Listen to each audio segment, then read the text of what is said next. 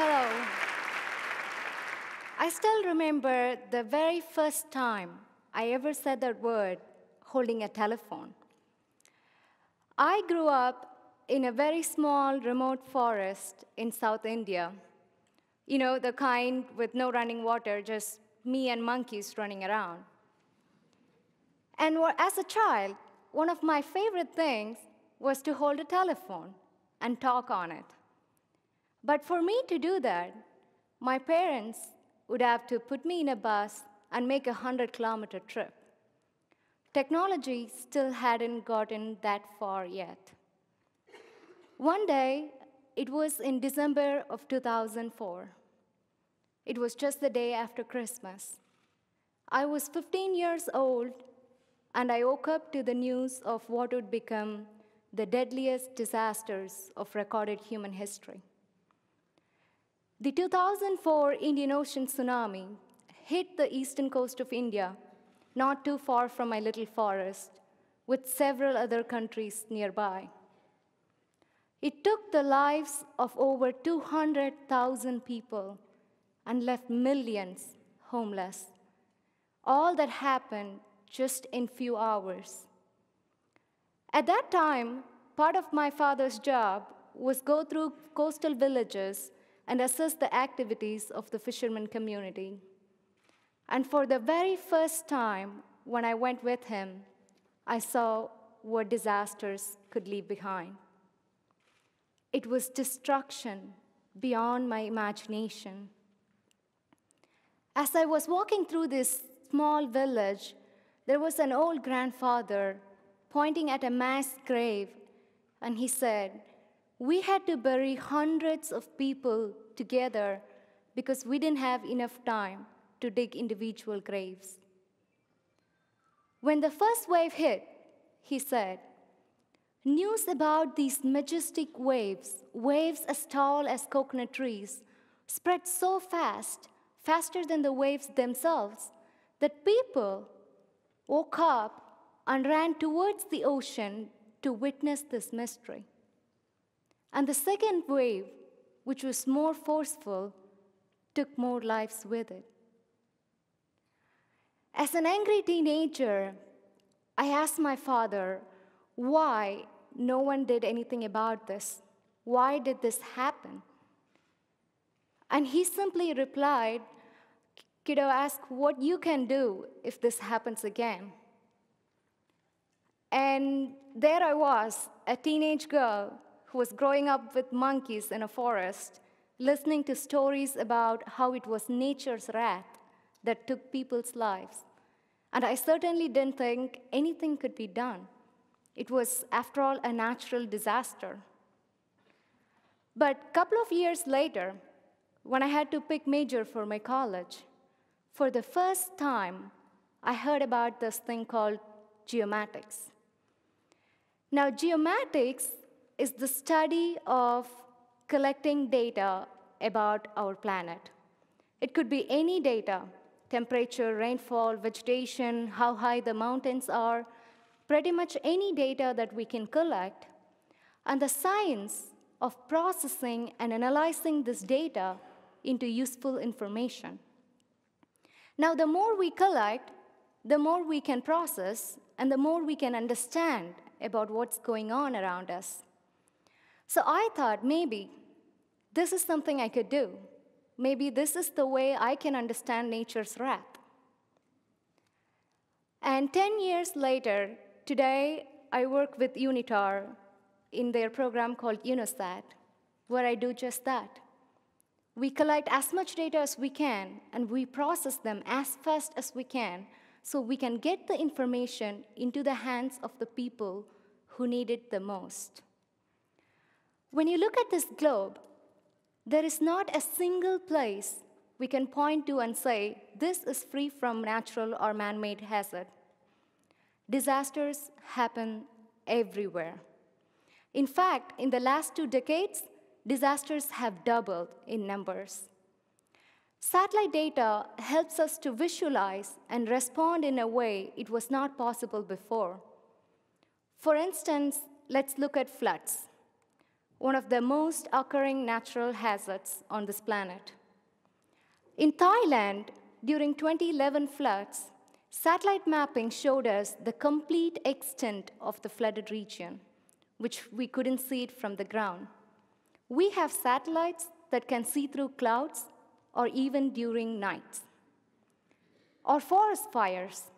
We can see fire hotspots from space. We can visualize them over space as well as time. We are also monitoring conflicts. By the end of 2015, there were well over 4 million Syrian refugees. This is Al Zatari refugee camp in Jordan. This camp grew in a way no one could have imagined, from almost nothing. Satellite data helps us to study the camp's growth, which becomes important planning tool this is crucial information which cannot be obtained from the ground. We are also looking at cultural heritage sites. This is the Temple of Bel in the ancient city of Palmyra in Syria.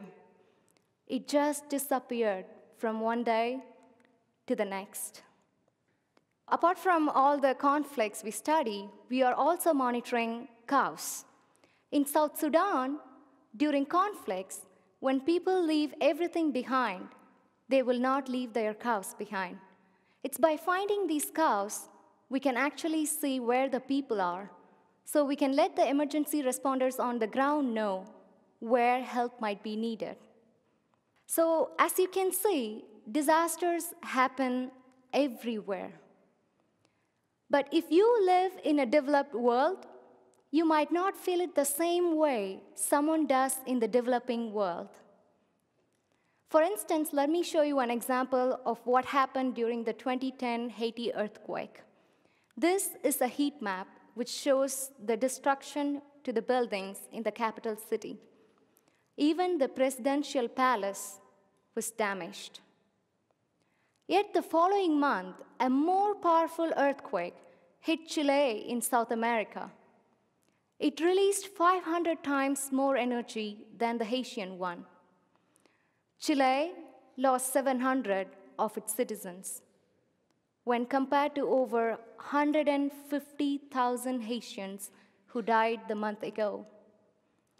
Of course, there were some geological differences between these quakes, but Chile, as a country with long-standing history of earthquakes, was far better prepared they have stronger building regulations in place. Even if we go back and look at the 2004 Indian Ocean tsunami, it took two hours to go from Indonesia to India. At that time, we had no way to warn the people. The killer here was not the tsunami in itself. It was not nature's wrath. It was lack of information lack of an early warning system to let the people know do not run towards the ocean, run away from it. As we look closely on again and again, there is nothing natural about any of these disasters. Natural hazards do not become disasters unless or until people are affected by it. And in most cases, these are the poor people who live in the most vulnerable settings with no preparedness. Poverty and inequality plays a role. Development of a country is directly linked to the impact of any disaster. Other than developmental issues, we also live in a world with major challenges. Our population is swelling, and it's going to cap at around 9 billion by 2050. 70% of that population is going to be concentrated in an urban area, which increases their vulnerability. When coupled with fast moving effects of climate change, natural hazards will not only increase in numbers, but they will intensify. So instead of using the technology only to respond, it is more and more important to use the technology we have to better prepare to understand the risks around us. We call this disaster risk reduction.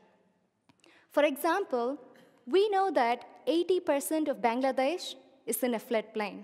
We know that. If flood happens year after year, you may wonder why people still live there. Because floodplains are the source of some of the most fertile soil, so people will move back there to farm. But what if?